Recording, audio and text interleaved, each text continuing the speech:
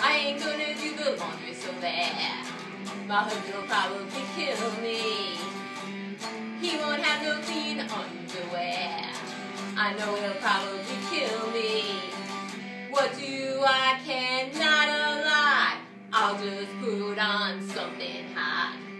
My husband will probably kill me today.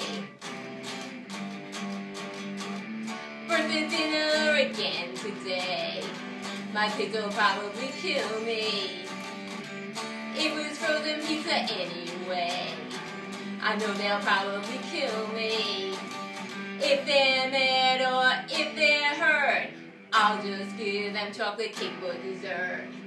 My kids will probably kill me today. Wrote something dirty on Facebook today. My mom will probably kill me.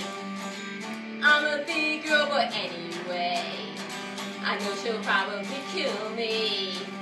I don't know, but I have a hunch if I try to be nice and take her out to lunch. My mom will probably kill me anyway.